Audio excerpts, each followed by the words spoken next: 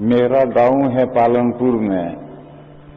ہم لوگ انتہائی درجہ ہماری قوم گمراہ تھی۔ ہم صرف اتنا جانتے تھے کہ ہم مومن ہیں، اس سے آگے ہم کچھ نہیں جانتے تھے۔ تو ہمارے یہاں ایک بڑے عالم اللہ کے فضل سے آئے، مولانا محمد نذیر صاحب، اور انہوں نے علاقے پر محنت کی۔ اس محنت کے نتیجے میں ہمیں اللہ نے دین سے قریب کر دیا۔ تو انہوں نے اپنے سالے کو ایک مولانا مفتی کفایت اللہ صاحب تھے پالن پوری، حضرت شیخ مولانا زکریہ صاحب کے خلیفہ، ان کے والد۔ وہ حضرت مولانا محمد نذیر صاحب کے سالے تھے اور تھوڑا بہت پڑے ہوئے تھے، کچھ زیادہ پڑے ہوئے نہیں تھے۔ تو ان کو مدرس بنا کر کے ہمارے گاؤں کالڑا میں بھیج دیے۔ اور کالڑا کے ارد گرد پانچ گاؤں تھے۔ پانچوں گاؤں کے بچے چل کر یہاں آتے تھے اور حضرت سے پڑھتے تھے۔ تو ممنا کے اندر بھی یہی نکاح دیوگان کو ایپ سمجھا جاتا تھا، جیسے ہندو ایپ سمجھتے ہیں اسی طرح سے۔ بہت سی عورتیں بیوہ بیٹھی ہوئی تھی، آج بھی بیٹھی ہیں، مسلمانوں میں بیوہ عورتیں۔ ہندوؤں کے طرح کا ذہن ہے۔ تو حضرت لوگوں کو سمجھاتے رہتے تھے، سمجھاتے رہتے تھے کہ ان عورتوں کے نکاح کرو کرو، کوئی سنتا ہی نہیں تھا۔ داغ دھبا گہرا ہو جاتا ہے تو اس کو نکالنا بڑا مشکل ہوتا ہے۔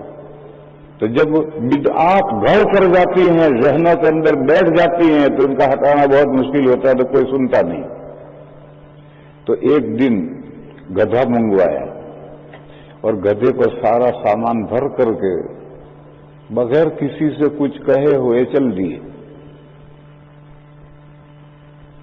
اس زمانے میں ہمارے گاؤں سے کھیرالو ایک گاؤں ہے، وہاں جاتے تھے، وہاں سے ریل ملتی تھی، وہ میسانے جاتی تھی۔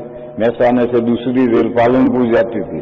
پالنپور اتر کر کے وہ اپنے گاؤں میں ڈانا جاتے تھے۔ تو گدے پر سامان بھر کر کے کسی سے کچھ کہے بغیر چل دیے۔ اب گاؤں میں مولانا صاحب نہیں ہے شور مچ گیا۔ تو لوگوں نے مولانا کہاں گئے؟ تو جس نے دیکھا تھا اس نے کہا کہ مولانا تو گدے پر سامان باندھ کر کے یوں جا رہے تھے۔ تو لوگ سمجھ گئے کہ کھیرالو گئے ہیں، گاڑی وہیں سے ملے گی۔ ڈائریکٹ پالنپور آنے کا کوئی راستہ نہیں تھا۔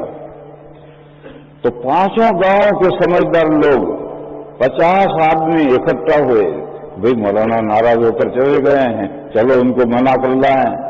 تو پچاس آدمی کھیرالو پہنچے، پانچوں گاؤں کے نمائندے، چودھری بڑے لو پٹیل مولانا وہاں گاڑی کے انتظار میں بیٹھے تھے، وہاں دن میں ایک دو گاڑیاں آتی تھی تو وہاں گاڑی نہیں تھی، اس کے انتظار میں بیٹھے تھے اور یہ پہنچ گئے۔ انہوں نے جا کر حضرت سے کہا، حضرت، آپ کیوں ناراض ہو گئے؟ واپس چلیں تو حضرت نے فرمایا جی میری بات کو سنتا تو ہے نہیں۔ میں کتنے دنوں سے تمہیں کہہ رہا ہوں کہ بیوہ عورتیں بیٹھی ہوئی، ان کے نکاح کرو، تم سنتے ہی نہیں، مانتے ہی نہیں۔ تو میرے یہاں رہنے سے کیا فائدہ ہے؟ میں واپس جا رہا ہوں۔ تو ان پچاس آدمیوں نے وعدہ کیا کہ نہیں، ہم ان آپ کی بات مان لیں گے اور ان بیواؤں کے نکاح کریں گے۔ تو حضرت حاضر ہو گئے تو واپس آ گئے۔ وہ واپس آئے، ایک مہینہ نہیں گزرا تھا کہ ان پانچوں گاؤں کے اندر ایک بیوہ عورت باقی نہیں رہی جس کا نکاح نہ ہو گیا۔ یہ جو مولانا محمد عثمان صاحب تھے، یہ سالے تھے مولانا محمد نذیر صاحب کے۔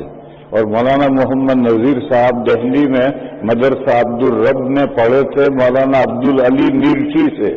اور مولانا عبد العلی نیرٹھی حضرت نانوتوی کے شاگرد تھے۔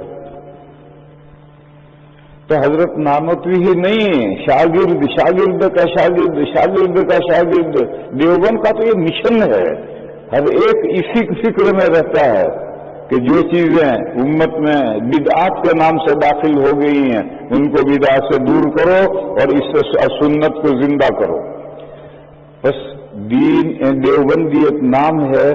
امہا بدعت، بدعات کو مٹانا اور احیاء سنت سنت کو زندہ کرنا، اس کا نام دیوبندیت ہے، اور یہ ایک تحریک ہے، ایک مشن ہے۔